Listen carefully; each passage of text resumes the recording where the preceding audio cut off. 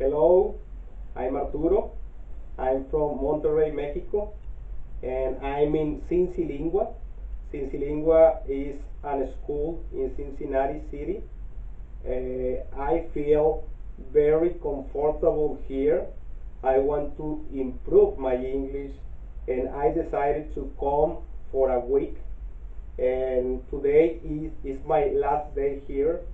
And since I arrived, I felt a very good change and improve my conversation. Uh, I my teacher is Todd. He's very very nice nice guy, and he's very good. Uh, one of the things that I like uh, in Cincilingua is that you can speak and you can learn one on one-on-one lessons.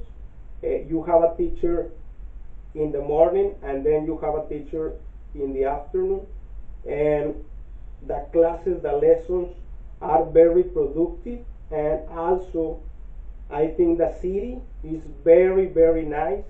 There are a lot of places to visit here in downtown and also the people is very kind and friendly and I recommend you to come to Cincilingua. It's very nice place.